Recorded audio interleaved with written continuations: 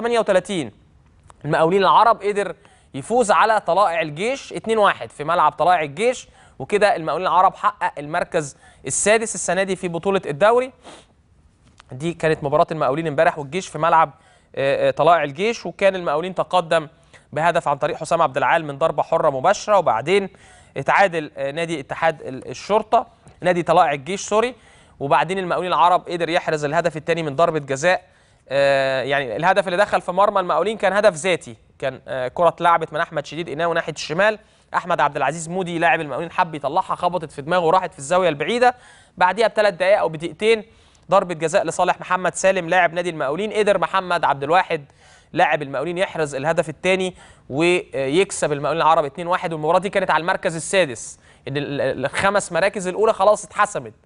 فالزمالك في المركز الأول لغاية دلوقتي طبعا وبفارق ست نقاط عن النادي الأهلي ولسه أربع لقاءات متبقية للزمالك وثلاث لقاءات متبقية للنادي الأهلي. آه، المركز الثاني الأهلي المركز الثالث امبي خلاص.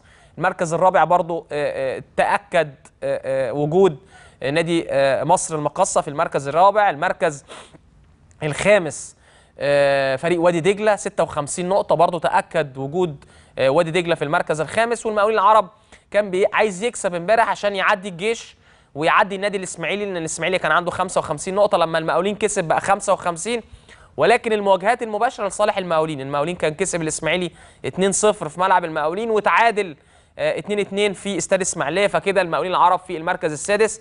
وأنا شايفه يعني بصراحة كابتن حسن شحاتة والجهاز الفني كابتن محمد عودة وكابتن محمد يونس وكابتن أحمد سعيد وكابتن آه، مجدي محمد علي المدير الإداري وكابتن حسين عبد الغني والجهاز الطبي وال- والفني ودكتور صفي المدرب الأحمال. يعني طبعا بالإضافة للمشرف العام ال- ال- المهندس محمد عادل ومجلس الإدارة بصراحة عملوا شغل كويس جدا الفترة اللي فاتت المقاولين العرب من المركز ال 17 أو ال 18 في بداية الدوري إلى المركز السادس في ختام الدوري. كان ممكن كمان يبقوا أفضل من كده. كان هدفهم يعني بعد ما خرجوا كابتن حسن شحاتة بعد ما خرجوا من ال- الموقف الصعب في مؤخرة الجدول في بداية المسابقة كان هدفه يلعب على المركز الرابع. ولكن يعني نقدر نقول موسم جيد للمقاولين العرب وفي تدعيمات في الفترة القادمة عشان المقاولين العرب ينافس على البطولات من الموسم القادم إن شاء الله. آه، برضو بشكر طلائع الجيش وبشكر كل الفرق بصراحة في الدوري المصري اجتهدوا. هنا بس المركز السادس طبعا هو المقاولين مش الإسماعيلي لأن الإسماعيلي نفس رصيد المقاولين لكن مواجهات المباشرة لصالح المقاولين. فالمقاولين في المركز السادس زي ما أنتم شايفين الزمالك الأول 80 نقطة الزمالك عنده ماتش يوم الأربع مع النصر. كان الزمالك عايز يأجله 24 ساعة عشان آه، يعني رحلة سفر طويلة من آه، جنوب أفريقيا إلى القاهرة. ولكن اتحاد الكره رفض والزمالك عنده مشكلة في ماتش النصر كمان. إن عنده حوالي 9 10 لاعبين عندهم انذارات تانية انذار التاني. فخايفين ياخدوا الانذار الثالث عشان الماتش اللي بعديه هيبقى ماتش الأهلي. فأعتقد مستر فيريرا يعني هيقعد ناس كتير من اللعيبة الأساسية في نادي الزمالك في مباراة النصر القادمة. الأهلي في المركز الثاني 74 نقطة. ظروف كانت صعبة شوية امبارح والدنيا حر في مالي لكن قدر النادي الأهلي يرجع بنقطة التعادل. امبي خلاص يعني ناقص له مباراة وحيدة مع النادي الأهلي. يعني مش هتأثر كتير في الترتيب. يعني هتخلي برضو الامبي في نفس الترتيب لكن المباراة دي هتكون يوم 4 8 إن شاء الله ما بين الأهلي وامبي المباراة الأخيرة النادي امبي في بطولة الدوري. آه، مصر المقاصه في المركز الرابع 64 نقطة وخلص ماتشاته. وادي دجلة ناقص له مباراة مؤجلة مع الزمالك. هتتلعب يوم 3 8 إن شاء الله. برضو المباراة مش مؤثرة. هي ممكن تكون مؤثرة للزمالك لكن ساعتها هيبقى الدوري اتحسم أو الزمالك خلاص هيبقى قرب من بطولة الدوري. لسه خلي بالكم الزمالك لازم يكسب النصر ولازم يعمل نتيجة إيجابية مع الأهلي يتعادل يكسب يبقى كده حسم بطولة الدوري. آه، وادي دجلة ناقص له مباراة برضه زي ما قلت لكم مع الزمالك آه، 56 نقطة لكن هو حسم خلاص المركز الخامس. آه، المقاولين في المركز السادس 55 نقطة. المواجهات المباشرة لصالح المقاولين على حساب الإسماعيلي. الإسماعيلي في المركز السابع آه، 55 نقطة. الحرس يعني برضه أدى رأ- أداء رائع في الدور الثاني كابتن عبد الحميد بسيوني بصراحة. وفريق الحرس الحدود بأقل الإمكانيات قدر يوصل للمركز الثامن 52 نقطة.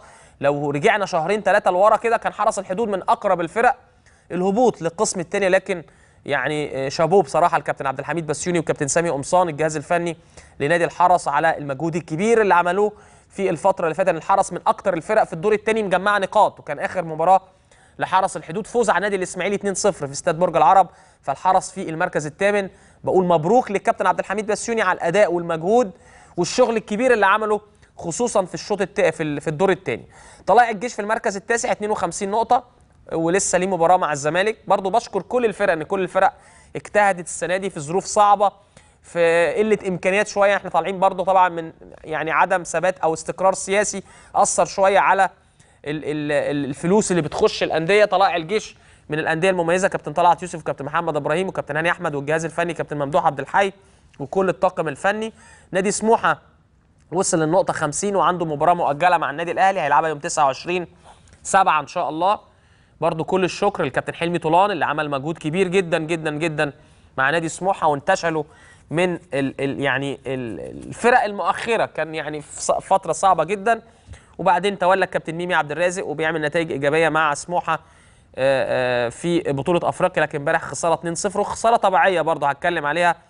خسارة طبيعية بالنسبة لنادي سموحة إن يعني بيلعب مع فريق عنده خبرات كبيرة وفي السودان وأمام جماهير. سموحة لسه يعني في بداية مشواره الأفريقي أول سنة أفريقيا لكن إن شاء الله يعوضوا في الماتشات القادمة. طبعا ما أقدرش أنسى دور ال- المهندس فرج عامر طبعا رئيس النادي ومجلس الإدارة في إن هم يخلوا سموحة فريق كبير في مصر ومن الفرق المميزة جدا والسنة اللي فاتت كانوا بينافسوا على الدوري والكاس. المصري في ظروف صعبة بيبقى في الدوري المصري وده كان الهدف الرئيسي للنادي المصري في الفترة الأخيرة. وكابتن مختار مختار عرفنا إن هو خلاص رحل عن النادي المصري ويعني عندي معلومة كده إن الكابتن حسام حسن والكابتن إبراهيم حسن يعني قريبين جدا من تدريب النادي المصري في الفترة القادمة أو في الموسم القادم. نفس القصة بالنادي الإسماعيلي. كابتن طارق يحيى خلاص رحل عن فريق النادي الإسماعيلي بعد مباراة الحرس. آه، بالنسبة للداخلية برضو إنجاز إن هم بقوا في الدوري إن كان ظروفهم صعبة جدا لكن لحقوا نفسهم في الماتشات الأخيرة. وآخر مباراة كانت فوز على آه، آه، آه، دمنهور 3-0 وحسام باولو هداف الدوري برصيد 21 هدف. يعني برضو إنجاز كبير للكابتن علاء عبد العال في ظل الإمكانيات القليلة. بتروجيت بقى من الفرق الغريبة. كان بادئ الموسم وحش قوي مع الكابتن مختار وبعدين كابتن رمضان مسك عمل طفرة كبيرة جدا وكان بينافس على المركز الرابع. ولكن في آخر سبع ثمان ماتشات في الدوري الأداء وال... والنتائج تراجعت بشكل كبير جدا لغاية ما وصل لمرحلة إنه ممكن كان ي... لو اتغلب في ماتش الشرطة والجونة عمل نتيجة إيجابية كان ممكن بتروجيت ينزل. ولكن يعني نقدر نقول برضو إن بتروجيت آه بعد ما كان بيطمع في مركز متقدم بقى في الدوري وهو الدوري كده السنة دي 20 فريق. فيعني نقدر نقول برضو برافو كابتن رمضان السيد. حصل بعض النتائج السلبية في نهاية الدوري ولكن أدى بشكل رائع وانتشل فريق بتروجيت من المركز قبل الأخير في بداية الدوري. الاتحاد السكندري كابتن حسام حسن برضه حقق الهدف وبقى رغم إن هو ما خدش مركز متقدم لكن الظروف برضه كانت صعبة. لازم برضه نقول الحقيقة ونقول الواقع. الظروف صعبة كان للكابتن حسام والكابتن إبراهيم والجهاز الفني. الاتحاد السكندري ما عندوش لعيبة. يعني مع احترامي لعيبه الاتحاد كابتن حسام طلع لعيبة كتير جدا جدا جدا. من قطاع الناشئين وكل اللعيبة أو معظم اللعيبة اللي موجودة في نادي الاتحاد السكندري هنلاقيهم لعيبة طالعين من قطاع الناشئين. كابتن حسام حسن بيديهم الفرصة أو لعيبة معارة يعني لعيبة جاية إعارات من أندية أخرى زي عمرو مدحت وردة زي محمود خالد شيكا لاعب نادي الزمالك. آه، كل اللعيبة دي إعارات. حتى اللعيبة الأجانب مشيوا. كان في مشاكل في المستحقات المالية فمشيوا. روبرت أكوروي آه، بوغانمي اللاعب ال- التونسي. يعني م- ما كملوش. لكن آه، بقول الكابتن حسام أدى بشكل رائع جدا مع الاتحاد السكندري. يمكن ال finish ما كانش كويس أو آخر لقاءات في الدوري ما كانتش كويسة. آه، كنتائج ولكن قدم جيل جديد لنادي الاتحاد السكندري. بنشكره على المجهود الكبير. وبشكر كل المدربين بصراحة. كلهم اجتهدوا السنة دي. كابتن حسام اجتهد مع فرقته. الجهاز الفني كابتن إبراهيم حسن وكابتن طارق سليمان وكابتن حسن مصطفى. وكابتن محمد فتحي مدير إداري وكابتن وليد آه، آه، بدر طبعا مدير إداري و والكابتن عماد المندوه مدرب حراس مرمى. فبنشكرهم.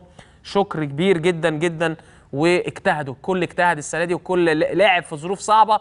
لكن من السنة الجاية بقى نقدر نحاسب ونقيم. نقول إيه بقى؟ المدربين هيبدأوا يعملوا فرق ويختاروا هم اللعيبة. لكن طبعا هنشوف بقى في يعني في انتقالات كبيرة جدا هتكون ما بين المدربين في أندية الدوري المصري. اتحاد الشرطة كابتن خالد القماش راجل اتاخد منه السنة اللي فاتت 17 لعيب مشيوا من اتحاد الشرطة عمل فرقة جديدة قدم أسماء جديدة السنة دي مسيوني وخالد الغندور ونانا بوكو وريكو ورابو وأحمد كمال وأحمد عادل و لعيبة كتير جدا مش عايز أنسى حد في, في اتحاد الشرطة طلع لعيبة مميزة وعمل فرقة بعد ما فرقته كلها مشيت السنة اللي فاتت اللي راح الأهلي واللي راح الزمالك واللي راح مش عارف إنبي واللي راح واللي راح واللي راح لكن عمل موسم كويس وبرضه يعني أنا شايف إن الهدف إن هو يبقى في الدوري هو ده الهدف الرئيسي.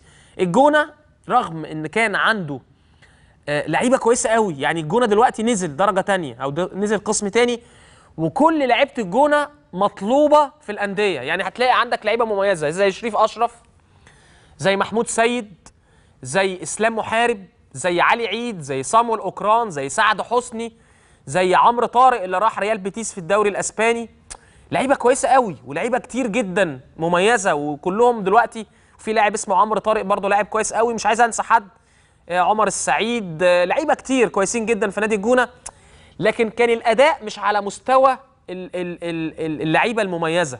يعني يعني مش عايز أحمل برضه تسوبل والجهاز الفني كابتن مجدي طلبة ولكن الجونة اتظلم في حاجة السنة دي إن الجونة في, في الدور الأول في الدوري كان ملعبه وحش قوي كان ملعبه بايظ بسبب طبعا إن السنة اللي فاتت الجونة آه، ما رضيش يصلح الملعب عشان كان في ماتشات للأهلي والزمالك والمنتخب على ملعب الجونة. فكان كل الماتشات اللي بتتلعب في استاد الجونة كان الجونة بيخسرها. الجونة معظم ماتشاته اللي كسبها كانت خارج ملعبه كان بيعمل نتائج غريبة وبيكسب خارج ملعبه بنتائج رائعة وبيكسب فرق كبيرة. فالجونة اتظلم شوية في ال- الملعب ونقول له هارد لك السنة دي طبعا نزل كنت أتمنى إن الجونة ما ينزلش إن الجونة برضه حتة غالية من أرض مصر من الغردقه أنا كنت عايز الرجاء يستنى وعايز الجونة يستنوا. يعني عايز يبقى الدوري متوزع. آه، عندنا فرقة في الجونة في الدوري المصري أو في البحر الأحمر. عندنا فرقة من مطروح اللي هي الرجاء في الدوري المصري في الدوري الممتاز.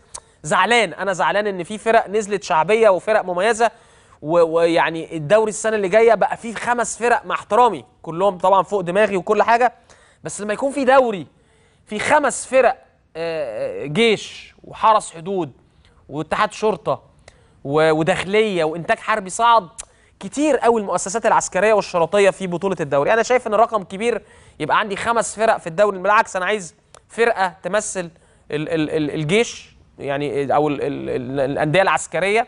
الحرس وطلائع الجيش برضو فرقتين كبار ما أقدرش أقلل منهم. عايز فرقة تمثل الشرطة يا اتحاد الشرطة يا يا يا الداخليه لكن هو ده ال- اللي حصل ودي كورة.